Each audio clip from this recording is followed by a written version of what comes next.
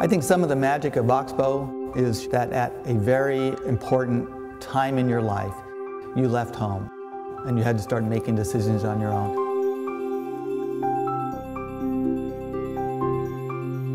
For most of us, it happens when we go away to college. We're both empowered and terrified all at the same time, but we're starting to claim our life path. So to be able to get a jump on that can be very empowering.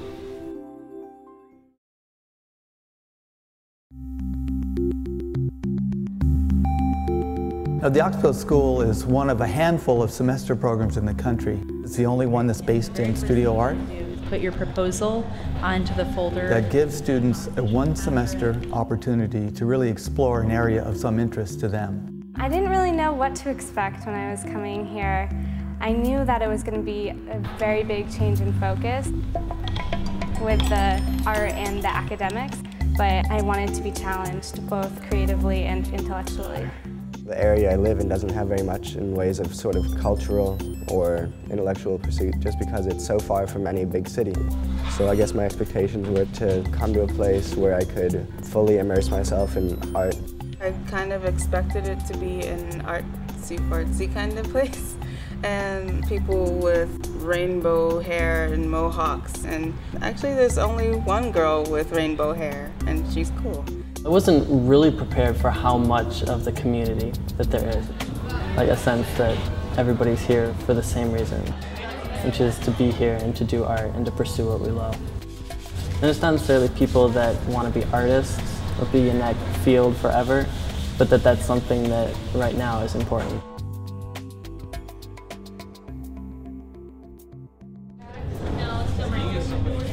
For the first 12 weeks, we're actually in standard classes. The classes are interdisciplinary and longer than high school classes. And lastly, knowledge is power. A lot of comments about nobility and ambition. So they're growing their attention spans as well as every other talent that we cultivate here. It's also really discussion based. So the teacher is not really just talking at us and writing things on the board, but rather it's sort of a roundtable discussion.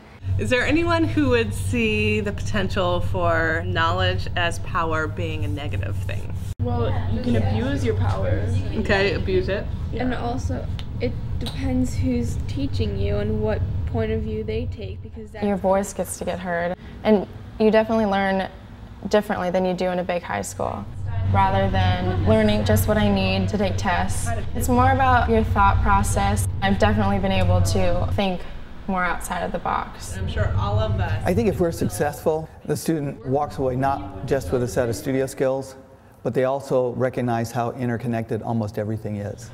When you divide up the high school day into six or seven periods, it's a completely artificial environment. You know, we don't think like that, we don't live like that. Everything does flow and influence every other thing.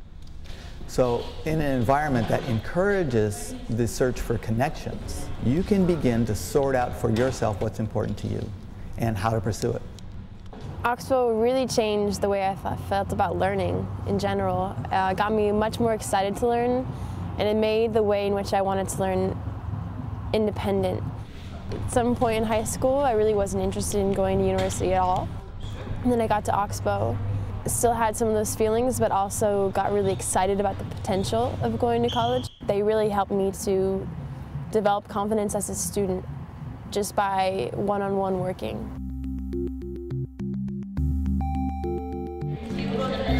For the last month of the program, they are working on a project of their own device, something that they have chosen that they can do in the studios that also has a research component It can be broad, narrow, or personal, whatever you find really interesting and that you're passionate about. And when we get to that point, classes are over and they just get up every morning and they approach the day like any artist in the studio would. How will I move my inquiry forward? For my final project, I'm working on writing and illustrating a 20-foot book, accordion book. I'm exploring the trait of curiosity and whether it's a vice or a virtue in humans. I personally am looking at the subject of reality and hyperreality in our culture and how everything is supposed to be in the media like perfect, that we need to have things that are more real than real.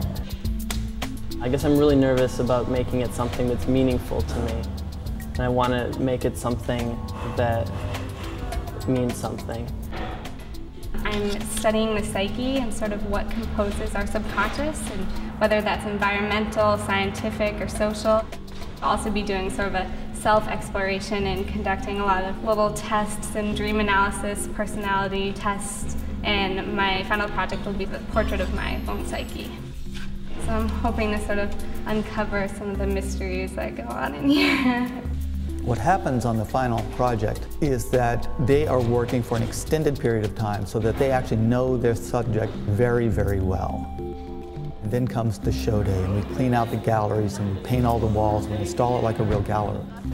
And in the morning, we invite families and board members to the show, and each student makes a formal presentation about their work. It's so great to see everyone all dressed up and everyone looks more mature and older and wiser than when we first came here. This final push has really gotten everyone, you know, to stand a little bit taller and be recognized as an artist. I want to welcome you all here, parents, friends, and supporters, and a special thanks from the staff, myself, and all of these people. A special thanks to you for getting them here, letting them come. So thank you very much. Without you, this doesn't happen.